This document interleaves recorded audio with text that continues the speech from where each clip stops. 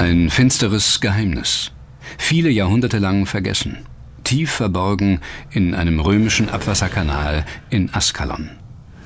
Bis Archäologen Beweise ans Licht bringen. Hunderte von menschlichen Knochen, Überreste von neugeborenen Kindern. Wissenschaftler nutzen modernste Untersuchungsverfahren, um das Rätsel zu lösen. Ihre genauen Analysen enthüllen verblüffende Details. Das mysteriöse Sterben der Babys von Askalon wirft neues Licht auf eine längst vergangene Kultur.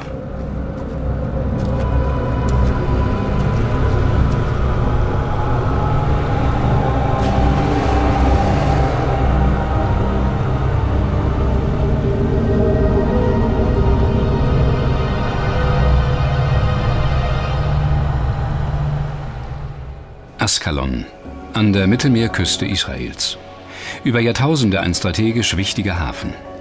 Wer das antike Askalon beherrschte, kontrollierte den Zugang zum Mittleren Osten. Philister, Phönizier, Perser und die Römer, sie alle prägten Askalon und hinterließen Zeugnisse ihrer Kultur. Im Altertum war Askalon eine blühende Handelsmetropole. Schiffe verließen den Hafen, beladen mit Wein, Olivenöl, Getreide, Datteln und Gewürzen. Segler brachten Waren aus aller Herren Länder für die reichen Bürger der stolzen Stadt. Das antike Askalon, zu jener Zeit ein Schmelztiegel der Kulturen.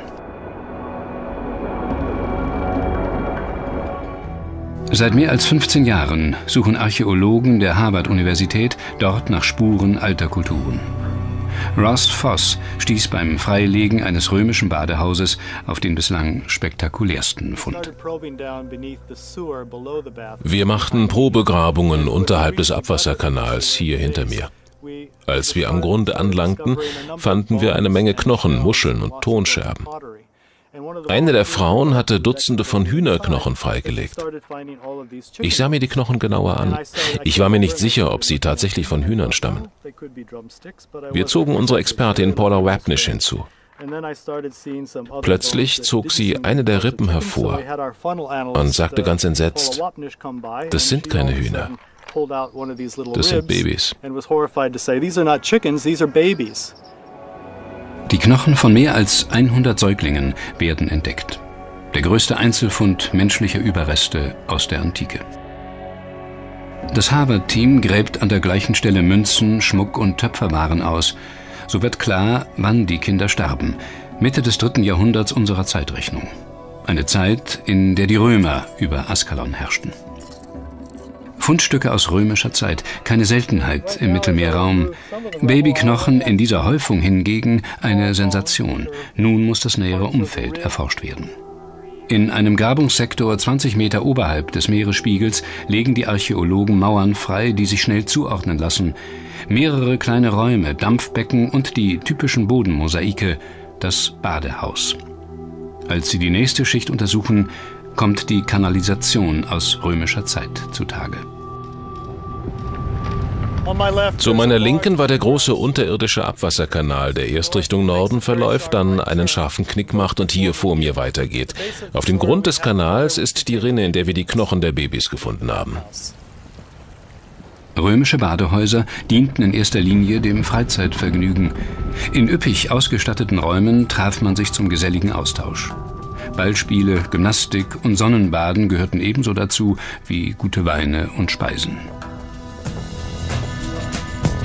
Neben dem großen öffentlichen Bad fanden zahlreiche kleinere Thermen regen Zulauf. Bewohner und Besucher Askalons schätzten die Vergnügungen römischer Badehäuser.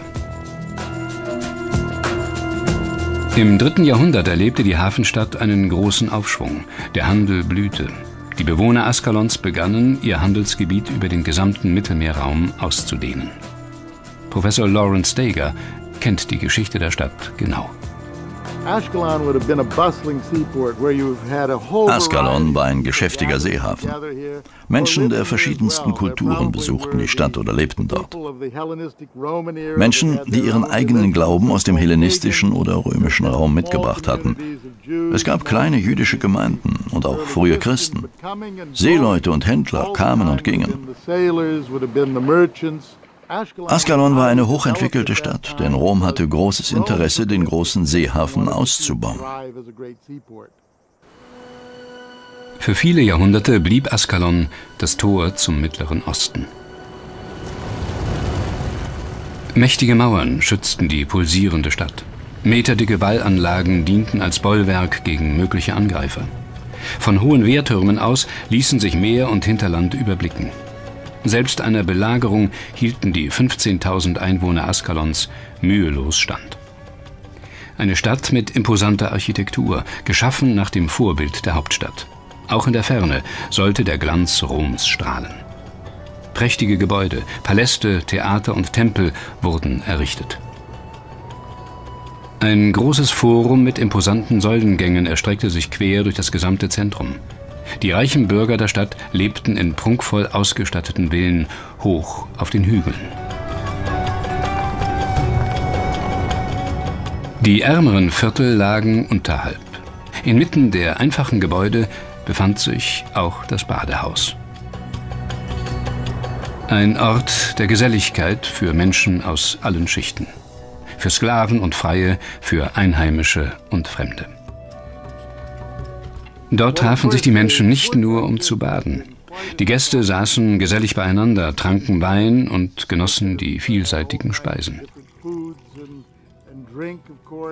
Und setzten ihre Münzen bei verschiedensten Glücksspielen ein.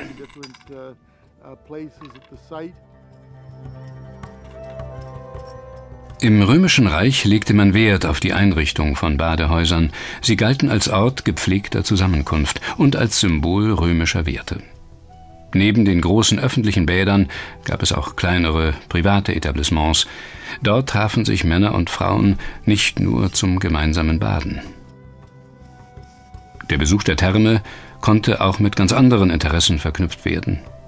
Männer verabredeten sich mit ihren Geliebten – oder sie suchten im zwanglosen Ambiente des Badehauses Prostituierte auf.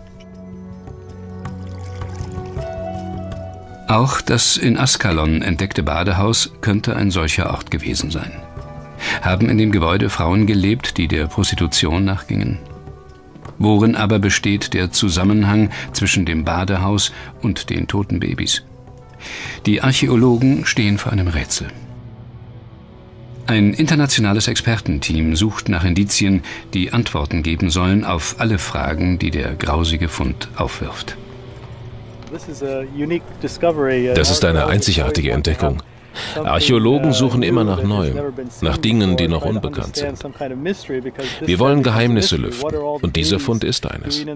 Warum hat man die Babys wie Abfall in den Kanal geworfen? Warum hat man sie nicht auf einem Friedhof begraben?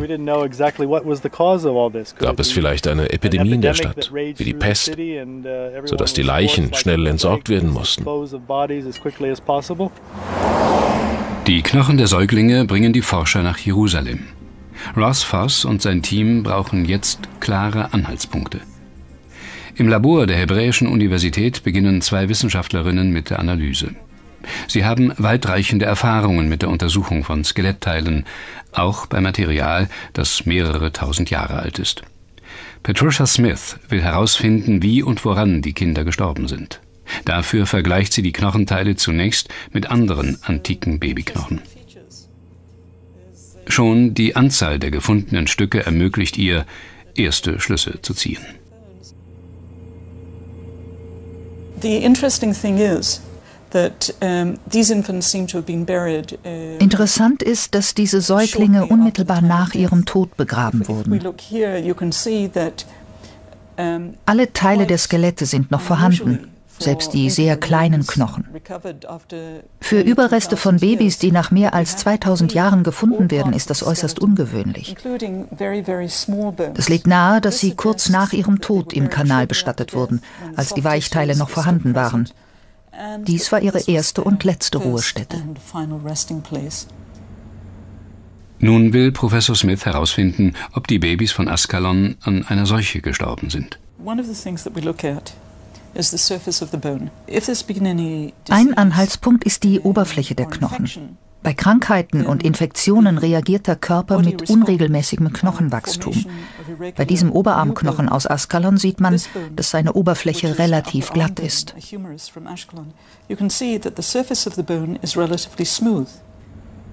Für die Wissenschaftlerin steht bald fest, die Kinder von Askalon waren gesund. Warum also mussten sie sterben? Um weitere Indizien zu bekommen, untersucht sie die Zähne der Babys. So lässt sich das exakte Alter bestimmen. Der Fall war für mich klar, als ich mir die Entwicklung der Zahnkeime anschaute. Hier ist der Zahnkeim eines Säuglings von Askalon. Weniger als die Hälfte der Zahnkrone ist ausgebildet. Vergleichen wir ihn mit dem eines Säuglings einer anderen Grabungsstätte, der bei seinem Tod wesentlich älter war, stellen wir einen großen Unterschied fest. Ein kompliziertes Verfahren hilft bei der Altersbestimmung. Dabei sind modernste gerichtsmedizinische Techniken notwendig, um Ergebnisse zu erzielen. Das heißt, der Querschnitt der Zahnknospen muss stark vergrößert werden. Nach der Geburt wird 24 Stunden lang kein Zahnschmelz gebildet. Danach setzt die Zahnschmelzbildung wieder gleichmäßig ein. Ganz anders bei den Babys von Askalon. Bei den Zähnen der Askalon-Kinder gab es nur diese eine Linie. Keine der oberen Wachstumslinien existiert. Es gibt keinen Hinweis darauf, dass sie mehr als ein paar Tage überlebt haben.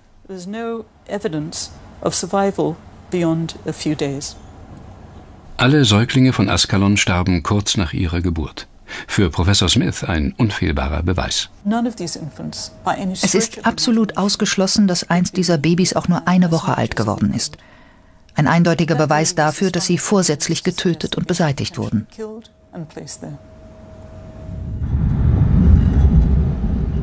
Nur wenige Stunden nach der Geburt brachten die Frauen aus Askalon ihre Babys fort. Noch sind ihnen die Neugeborenen nicht vertraut, noch können sie sie aus ihrem Leben entfernen. Sie steigen die Treppen hinunter in die Kanalisation und bringen ihre Kinder dorthin, wo schon andere Frauen vor ihnen waren. Zur Abflussrinne unterhalb des Badehauses. In der Dunkelheit der Katakomben beobachtet niemand, was mit den Kindern geschieht. Über 100 Kinder werden dort getötet oder bleiben lebend zurück, ihrem Schicksal überlassen. Der Askalon-Fund birgt die bislang eindeutigsten forensischen Beweise. Damit kann die antike Praxis der Kindstötung als Form der Geburtenkontrolle endlich belegt werden.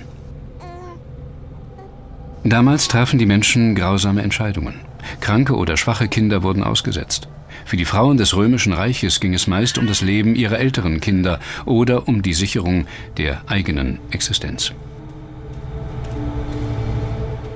Die hochentwickelte Kultur der Römer betrachtete Neugeborene nicht als vollwertige Menschen. Frauen töteten ihre ungewollten Kinder, ohne bestraft zu werden. Vor dem Gesetz waren sie unschuldig. Für heutige Verhältnisse unvorstellbar. Kinderliebe nach heutigem Verständnis hat eine lange Entwicklung hinter sich. Sie basiert auf den Wertvorstellungen des Christentums und auf den Errungenschaften der modernen Medizin. Dr. Eleanor Scott ergründet das Verhältnis der Römer zu ihren Kindern. Die Unterschiede zur heutigen Kultur beginnen bereits in der Schwangerschaft. Wir verleihen dem Baby bereits im Mutterleib eine Identität. Schon am ersten Tag nach dem Ausbleiben ihrer Regel kann eine Frau feststellen, ob sie schwanger ist. Und auch die Ultraschallbilder während der Schwangerschaft lassen die Frauen eine fast romantische Liebe zu ihrem ungeborenen Kind entwickeln. Denn sie kann davon ausgehen, dass es überleben wird. Für eine römische Frau war das anders. Eine Sicherheit gab es für sie nicht. Erst am Tag der Geburt konnte sie feststellen, ob sie ein gesundes oder ein krankes Kind zur Welt gebracht hatte. Doch auch die Zeit nach der Entbindung barg viele Gefahren. Seuchen oder Infektionen bedrohten das Leben von Mutter und Kind. In Notzeiten verhungerten ganze Familien. Eine Frau, die frühzeitig starke Gefühle in ein Kind investierte, riskierte viel. Anstatt ihr Kind selbst zu töten, konnte es die Mutter aussetzen. Sie trug es fort und ließ es allein zurück. Nun mussten die Götter über das Leben des Neugeborenen entscheiden. Wurde es rechtzeitig gefunden, konnte es bei Fremden aufwachsen, wenn nicht, drohte ihm der sichere Tod. Hilflos war es wilden Tieren, Hunger und Kälte ausgeliefert. Allein das Schicksal entschied. Anders in Askalon. In der Dunkelheit des Abwasserkanals, tief unter der Erde, konnten auch die Götter keine glückliche Wendung herbeiführen. Die vorliegenden Ergebnisse aus Askalon sind eindeutig. Die Neugeborenen wurden ermordet. Als man sie in den Kanal warf, war ihr Ende beschlossene Sache. Niemand würde kommen und sie retten.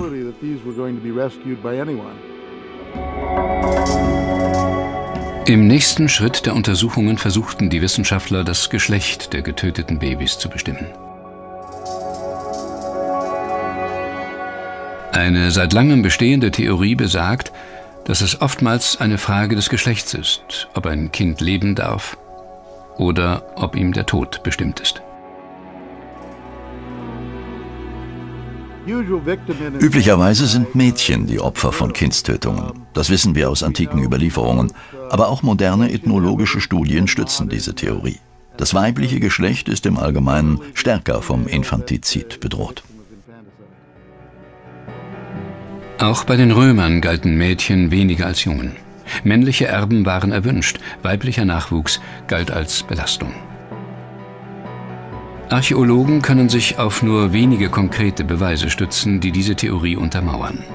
Einer von ihnen ein Brief, geschrieben im Jahr 1 vor Christi Geburt, von einem Mann namens Hilarion.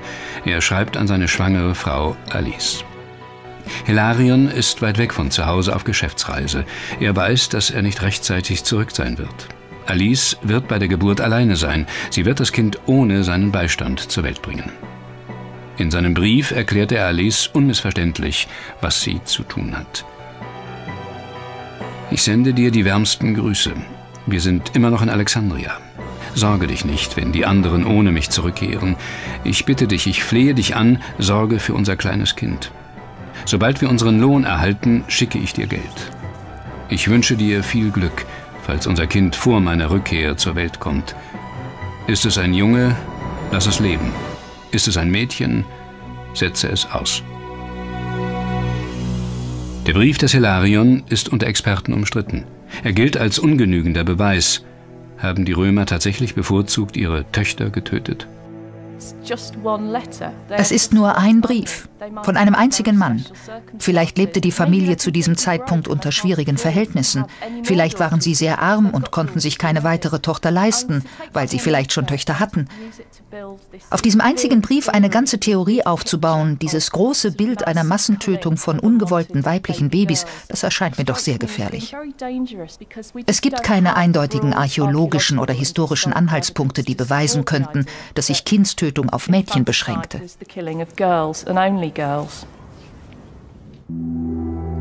Auch bei diesem Problem könnte der Fall Askalon neue Erkenntnisse bringen. Nun steht den Wissenschaftlern erstmals forensisches Material in einer Menge zur Verfügung, die konkrete Resultate bringen kann. Moderne DNS-Analysen aus den Knochen der toten Kinder sollen die bislang sehr umstrittene Theorie stützen oder in Frage stellen. Die Möglichkeit der DNS-Analyse eine Revolution selbst für die Archäologie. Endlich können auch Geheimnisse von Menschen erforscht werden, die vor vielen tausend Jahren gestorben sind manche unter ungeklärten Umständen. Doch die Untersuchung der alten Proben erweist sich als ausgesprochen schwierig. Dr. Andrew Merriweather ist einer der weltweit führenden Experten auf diesem Gebiet. Man weiß nie im Voraus, ob ein Knochen noch DNS enthält. Selbst wenn sie isoliert werden kann, ist sie oft bruchstückhaft. Möglicherweise beantwortet sie nur einen kleinen Teil der Fragen, die man sich stellt. Jedes Individuum, ob tot oder lebendig, trägt eine einmalige DNS in sich. Sie bestimmt jede einzelne Zelle in uns und damit Geschlecht, Aussehen, selbst die Anfälligkeit für bestimmte Krankheiten. Jeder Zellkern enthält Chromosomen. Darin finden sich zwei ineinander verschlungene Molekülketten, die sogenannte DNS. Die Moleküle unterteilen sich in einzelne Sequenzen, die Gene. Dort sind alle Informationen gespeichert, die das Individuum bestimmen. Der Bauplan eines jeden Menschen. Nach dem Tod werden große Teile der DNS vernichtet. In Knochen und Zähnen bleiben jedoch Reste. Lange Zeit konnten Wissenschaftler keine verwertbaren Informationen gewinnen. Erst vor kurzem gelang der Durchbruch. Seither ist es möglich, das Geschlecht festzulegen. Normalerweise betrachtet man die Form des Beckens oder des Kiefers, wenn man herausfinden will, ob ein Skelett männlich oder weiblich ist. Doch diese Körperteile formen sich erst in der Pubertät unterschiedlich aus. Bei Säuglingen kann man das Geschlecht nicht anhand des Skeletts erkennen. Die DNS hingegen unterscheidet sich schon bei der Geburt. Aus 23 Chromosomenpaaren setzt sich die menschliche DNS zusammen. Unser Geschlecht wird vom 23. bestimmt. Besteht das Paar aus einem X und einem kleineren Y, ist die Person männlich. Liegen zwei große X-Chromosomen nebeneinander, ist es ein weibliches Individuum. Die Ergebnisse einer DNS-Analyse sind definitiv. In Jerusalem nutzt das Expertenteam der Hebräischen Universität die neuen Möglichkeiten und untersucht die DNS der Babys aus Askalon. Waren die Opfer der Kindstötungen tatsächlich ungewollte Mädchen? Die neuen Methoden versprechen zumindest in dieser Frage fundierte Hinweise. Zunächst werden die Knochen für die Analyse vorbereitet. Dr. Marina Fairman nimmt Proben aus jedem der 100 Skelette. Die gesamte Untersuchung erweist sich als problematisch. Nur in bestimmten Bereichen könnten Reste von DNS zu finden sein. Die Forscherin zeigt gedämpften Optimismus. Mit alter DNS zu arbeiten ist weitaus schwieriger als mit neuer. Neue DNS bringt einem immer Erkenntnisse. Manchmal sind es nicht die gewünschten Ergebnisse, aber man bekommt zumindest welche. Bei alter DNS ist man nie sicher, ob es überhaupt Resultate gibt. Die Knochen der Babys von Askalon haben 2000 Jahre im Boden gelegen. Sie waren der Feuchtigkeit des Abwasserkanals ausgesetzt und könnten durch die warmen Temperaturen nach der Freilegung zerstört worden sein. Keine besonders guten Voraussetzungen also. Dr. Fairman untersucht daher Material aus dem Inneren der Knochen. Die Wahrscheinlichkeit einer Verunreinigung ist so geringer. Kontamination mit neuer DNS ist das größte Problem in der molekularen Archäologie. Die neue DNS von mir oder meinen Mitarbeitern ist in viel besserem Zustand als das alte Material aus Knochen oder Zähnen. Eine winzige Menge reicht aus, um die Proben zu verunreinigen und das Resultat zu verfälschen. Mundschutz und Handschuhe sollen verhindern, dass es dazu kommt. Die Luft im Labor wird ständig gefiltert. Eine einzige Berührung kann das alte Material verunreinigen und damit eine exakte Analyse zunichte machen. Das Pulver der Askalon-Knochen wird zunächst gesäubert, dann zentrifugiert, erwärmt und schließlich auf Eis gelegt. Nachdem die Verunreinigungen entfernt sind, erhalten die Forscher die reine DNS. Nun folgt die Vervielfältigung des Materials. Ein schwieriger Prozess. Die Fragmente der alten DNS werden immer wieder verdoppelt, bis es gelingt, eine Menge zu erhalten, die getestet werden kann. Die Endphase der Untersuchung in der Elektrophorese wird die DNS in ein lesbares Ergebnis übersetzt. Die blau eingefärbten DNS-Proben werden auf ein Gel aufgetragen. In diesem Gerät werden die Fragmente in ein elektrisches Feld gestellt. Unter ultraviolettem Licht werden erste Ergebnisse sichtbar. Nun kontrolliert Dr. Fairman die einzelnen Bahnen der Proben. Sie erkennt, ob die jeweilige DNS männlich oder weiblich ist. Auf der linken Seite eine längere Bahn, die Kontrollprobe mit neuer DNS. Daneben zwei Streifen des alten Materials, beide sind männlich. Andere Proben, die auf Fotos dokumentiert wurden, zeigen ähnliche Ergebnisse. Die Bahnen 10 bis 14 stammen vom Material aus Askalon. Auch in diesen Fällen ergeben sich klare Resultate. Die Wissenschaftler entschlüsseln das Geschlecht weiterer fünf Babys. Alle waren männlich. 43 Babyknochen konnten in die Untersuchung mit einbezogen werden. Bei 19 von ihnen ließ sich brauchbare DNS gewinnen.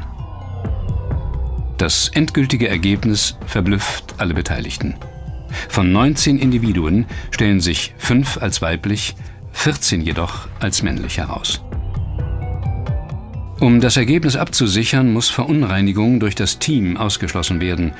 Die Expertin führt eine aufwendige Kontrolluntersuchung durch. Dr. Fairman analysiert die DNS aller an den Ausgrabungen beteiligten Personen. Von ihnen findet sie keine genetischen Spuren. Die Ergebnisse sind also gültig. Der Probenumfang ist klein, doch die Proben weisen eindeutig darauf hin, dass eine Auswahl getroffen wurde. Jungen wurden bevorzugt getötet. Das Rätsel um die getöteten Babys von Askalon nimmt eine überraschende Wendung. Das Unerwartete ist eingetreten. Die Römer töteten offenbar auch ihre Söhne. Unter Umständen sogar häufiger als ihre Töchter. In bestimmten Situationen scheinen Mädchen also nützlicher gewesen zu sein.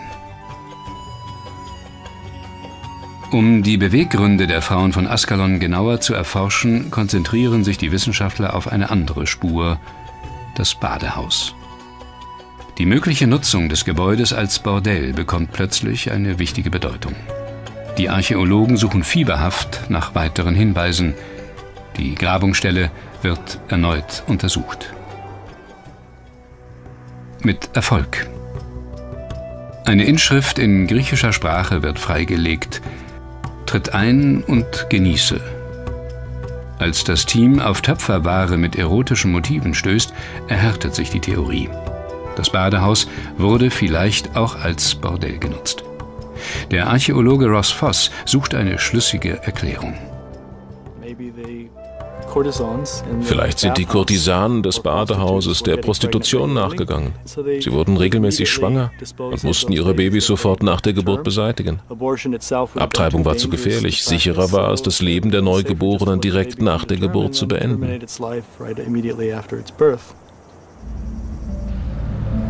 Das heißt, Prostituierte ließen ihre ungewünschten Kinder verschwinden, trafen zuvor jedoch eine Auswahl. Für Jungen gab es keinen Platz im Leben der Kurtisanen. Männliche Babys wurden kurzerhand in den Abwasserkanal neben dem Bordell geworfen.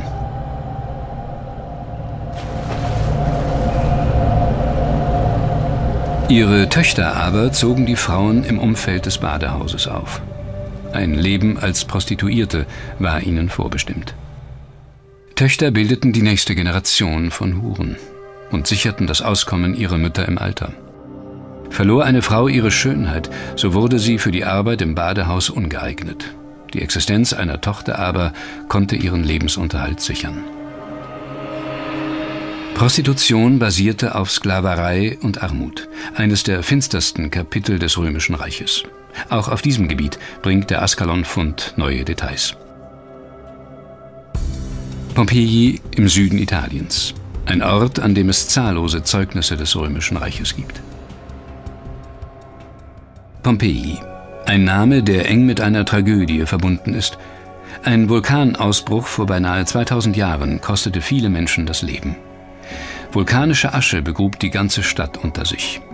Was für die Bewohner der antiken Stadt eine Katastrophe war, erweist sich für die Nachwelt als Segen. Zahllose Kunstgegenstände und Bauten blieben erhalten. Gemälde voller Sinnlichkeit, nackte Frauen und Männer und auch erotische Motive bedecken zahlreiche Räume. Bis heute ziehen vor allem die anzüglichen Wandreliefs und Gemälde Touristen aus aller Welt in ihren Bann. Sexualität war für die Römer kein Tabu. Eher etwas, auf das man stolz war, das man gerne zur Schau stellte. Noch heute findet sich in Pompeji eine Vielfalt an Gebäuden. Ganze Straßen sind so wie damals, als noch die Römer dort lebten. In öffentlichen Gebäuden und privaten Villen finden sich gut erhaltene Kunstwerke. Sie zeugen von einer Kultur, in der Sinnlichkeit ein wichtiger Aspekt des Alltags war. Für Professor McGinn ist ein bestimmter Ort in Pompeji ganz besonders aufschlussreich. Die Überreste eines großen römischen Bordells, das sich über zwei Stockwerke erstreckte. Im Erdgeschoss gibt es fünf kleine Räume.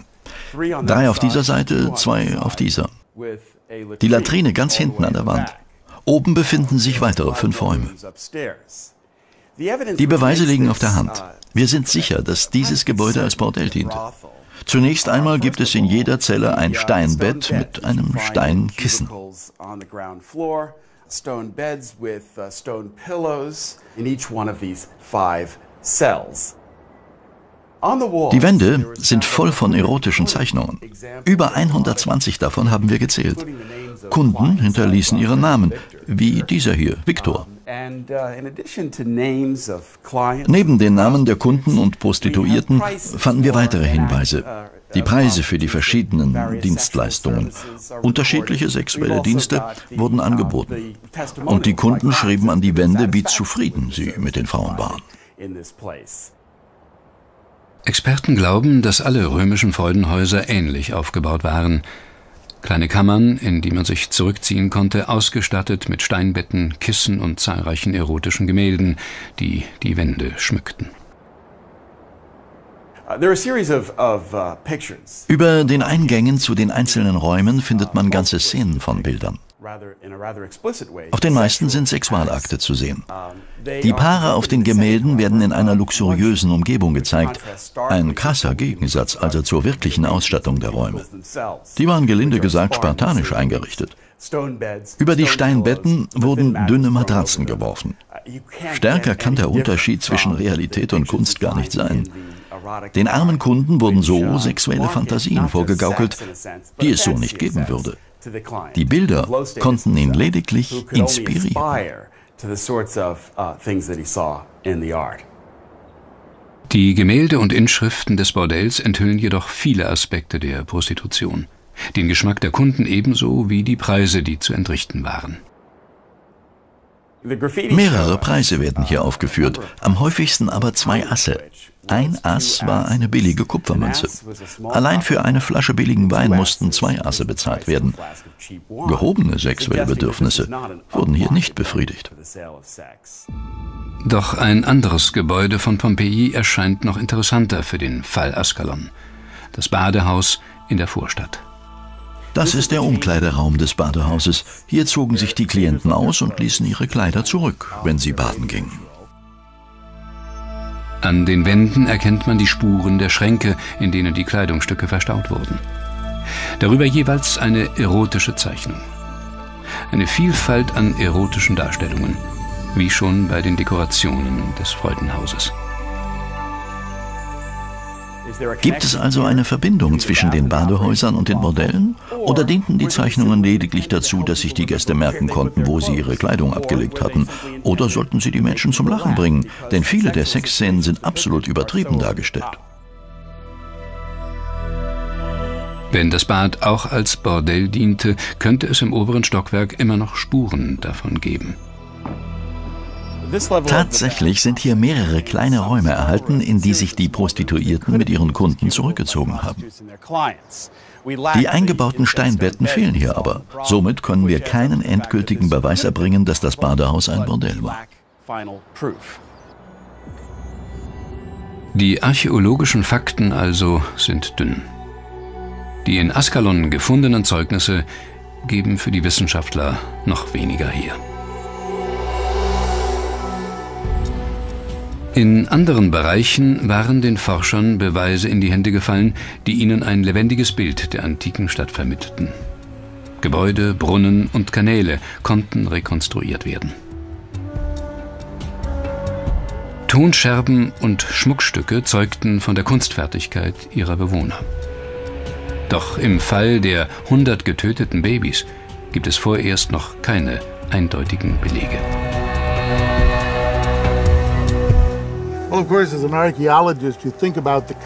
Als Archäologe denkt man natürlich über den Kontext des Fundes nach.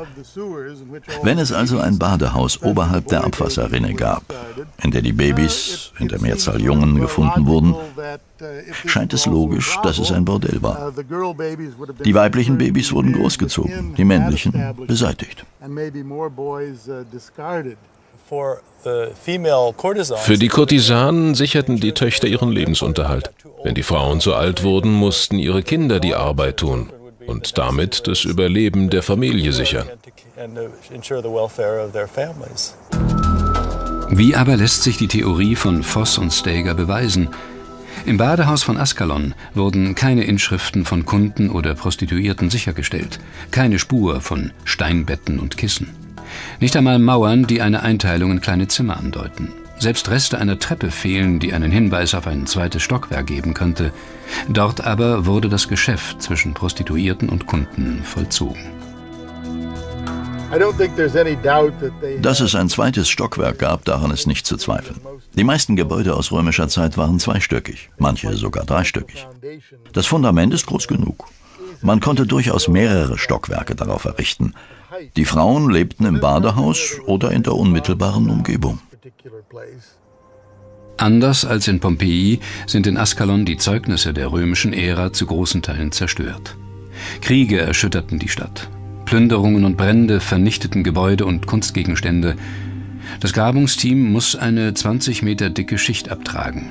Die Hinterlassenschaft von sechs Kulturen. Große Prachtbauten aus der Zeit der Römer lassen sich rekonstruieren anhand von Mauerresten und Vergleichen mit anderen römischen Städten. Das kleine, unbedeutende Badehaus aber bekam erst durch den grausigen Fund der Babys die Aufmerksamkeit der Wissenschaftler. Es ist eine große Anzahl von Babys. Dieser Ort wurde möglicherweise über einen langen Zeitraum genutzt. Über 100 Jahre könnten es gewesen sein. In diesem Zeitraum kamen und gingen Prostituierte und brachten ziemlich viele uneheliche Kinder zur Welt.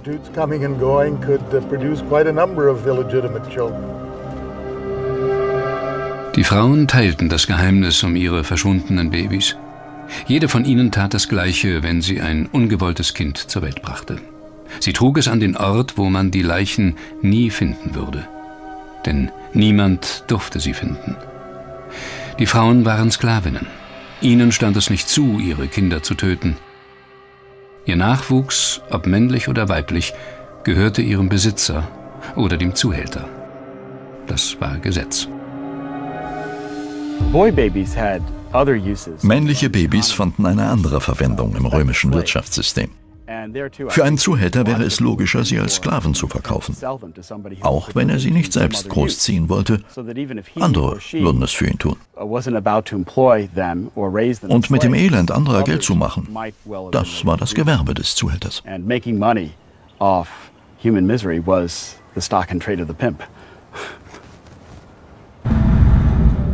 Warum also brachten die Frauen ihre Söhne in die Kanalisation? Ist die Prostitutionstheorie der falsche Weg? Der Abwasserkanal selbst könnte der Schlüssel sein, das Rätsel von Askalon zu lösen. Warum wurden die Jungen gerade an diesen Ort gebracht? Das Ausgrabungsteam vermutet, dass die Kinder weggeworfen wurden, dass man sie in den Abwasserkanal legte, an einen unterirdischen, dunklen Ort, aus dem es keinen Ausweg gab. Niemand würde jemals diese Babys finden. Für mich aber liegt es nahe, dass die Kinder vielleicht schon tot waren. Vielleicht war es eine Stelle, an die man tote Kinder brachte, Babys, die während oder kurz nach der Geburt starben, wir wissen, dass Säuglinge zu dieser Zeit nicht als vollständige Menschen galten. Sie konnten nicht auf einen Friedhof gebracht werden. Und irgendwo musste man sie ja lassen. Die Gänge des Abwasserkanals könnten nach der Theorie von Eleanor Scott ein geheimer Friedhof gewesen sein, auf dem Mütter ihre toten Kinder ließen, die sonst nirgendwo einen Platz hatten. Dann wären die Ascalon Babys eines natürlichen Todes gestorben. Die Wissenschaftlerin Patricia Smith hegt starke Zweifel. In ihren Augen hält diese Theorie den klaren forensischen Beweisen nicht stand. Für sie ist das Alter der Kinder entscheidend. Unsere Theorie ist, dass nur Opfer von Kindstötungen dort beseitigt wurden. Und das Hauptargument ist, dass es nicht den geringsten Hinweis darauf gibt, dass manche Kinder älter waren. Nicht einmal eine Woche. Sie wurden direkt nach der Geburt in einen Abwasserkanal geworfen und so entsorgt.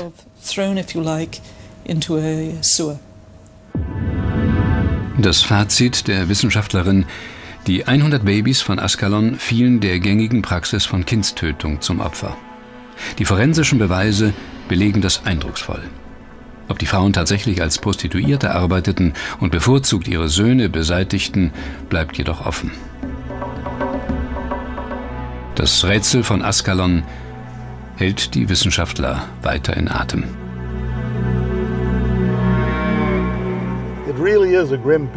Wenn wir mit dem Blick des Forschers auf den Abwasserkanal schauen, ergibt sich ein grausames Bild.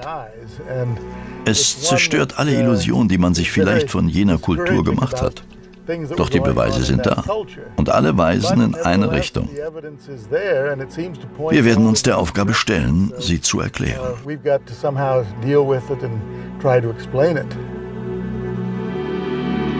Den Tod der Babys von Askalon zu verstehen, auch das bleibt eine schwierige Aufgabe. Denn die Wertschätzung von Kindern hat sich tiefgreifend geändert. Wir können diese Menschen nicht nach unseren heutigen Maßstäben beurteilen. Wir müssen wertende Urteile über diese antiken Gesellschaften vermeiden. Wir können nicht davon ausgehen, dass sie sich wie wir verhielten. Wir müssen uns eher vor Augen führen, wie sehr sie sich von uns unterscheiden.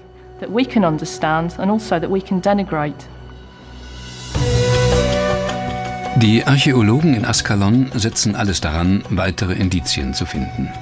Schicht um Schicht legen sie die antike Stadt frei, sammeln winzige Puzzlestücke einer jahrtausendealten Geschichte, bringen versunkene Kulturen ans Tageslicht und lüften die Geheimnisse von Askalon.